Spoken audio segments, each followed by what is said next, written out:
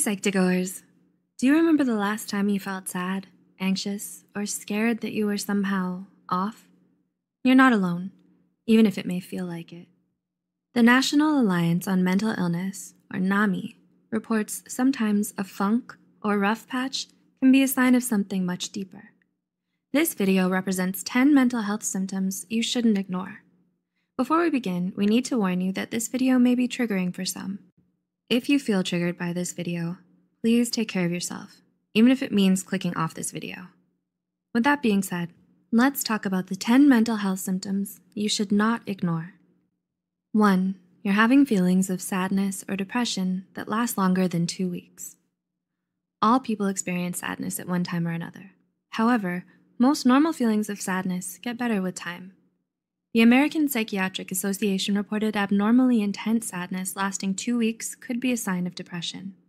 The National Institute of Mental Health stated not being able to snap out of it or sadness being heavier than normal should be taken seriously. 2. You're having extreme mood swings and don't know why. Do you find that your mood seems to switch super quickly or randomly? Trampe and others studied how often the average person's mood shifts on any given day. According to the National Center of Biotechnology Information, NCBI, this study showed people tend to experience positive emotions, such as joy or love, more often than negative ones. But it's totally normal for someone's emotions to change daily. However, the National Alliance for the Mentally Ill, NAMI, warns especially dramatic mood swings that cause huge changes in your behavior and energy can be a sign of bipolar disorder. Agencies such as the American Academy of Pediatrics say the more red flag signs are experiencing sadness, anger, or feelings of excessive euphoria for most of the day, especially if it has nothing to do with what's going on in your life. 3. Your worry and anxiety have gotten out of control. Have you ever found yourself worrying but can't shut it off? According to the National Institute for Mental Health, it may be a sign of an anxiety disorder. Other signs of anxiety disorders include having problems relaxing, insomnia, racing thoughts, unexplained aches and pains, or being easily irritated. The Anxiety and Depression Association of America suggests that if you've ever felt this way on most days for at least six months, you should consider talking to a mental health professional about your symptoms. 4. You've started withdrawing from others or isolating yourself. Taking time away from others can be positive for your mental health and physical health. But what if you constantly make excuses to avoid socializing? Mental health pros, such as Raymond Starr Jr. and Howard Dubowitz, say avoiding people or events you used to enjoy can be a sign of mental illness, such as depression, anxiety, or a psychotic disorder. 5. You may have noticed you're having delusions or hallucinations. Kumari and others describe the two aspects of psychosis hallucinations and delusions as a sense of perception or belief that creates a lot of urgency in the person experiencing it, despite evidence the perception or belief isn't real. The National Alliance on Mental Illness reports up to 100,000 people in the US will experience psychosis every year.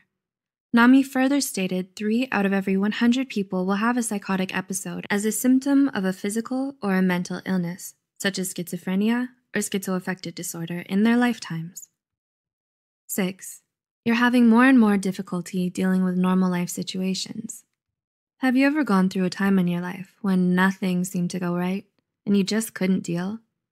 The Australian Department of Health stated a rough patch that you just can't get past, one that hurts your ability to function for more than two weeks to two months, may be a sign of depression or anxiety. A major sign that what you're experiencing is more than just a rough patch is when you have a hard time functioning in normal situations for several weeks, according to Mental Health America. 7. You're sleeping too much or too little. The Harvard University School of Medicine believes that 10 to 18% of the general population has problems sleeping.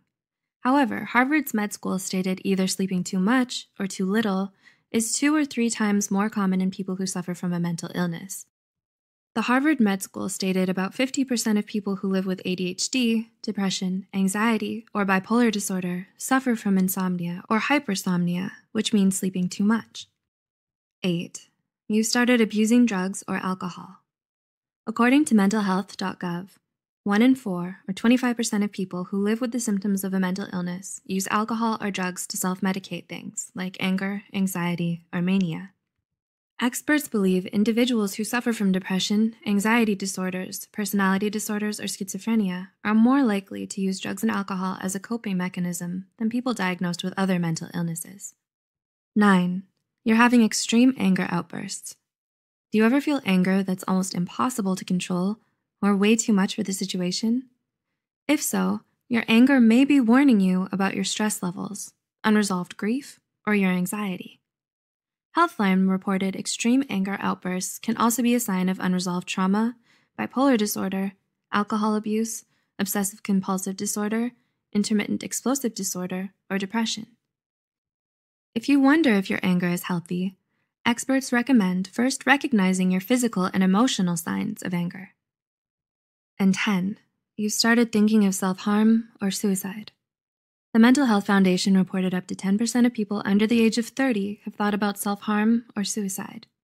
There are many reasons people consider self harm or suicide, such as abuse or neglect at home, a major loss, trauma, or a catastrophe that you can't control or avoid.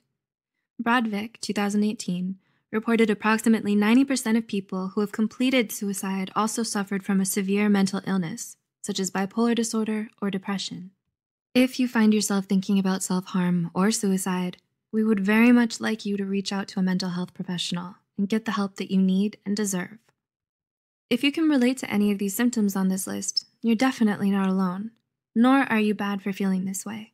But we want you to take care of yourself, which means reaching out to a mental health professional if you've been experiencing any of the symptoms on this list. As always, any information provided here is for educational purposes only if you need mental health counseling or treatment, please contact your insurance company, local college's student counseling clinic, or your county crisis line. Keep watching the Psych2Go channel for more information on mental illness and mental health, and remember help is out there. We'll see you in the next video.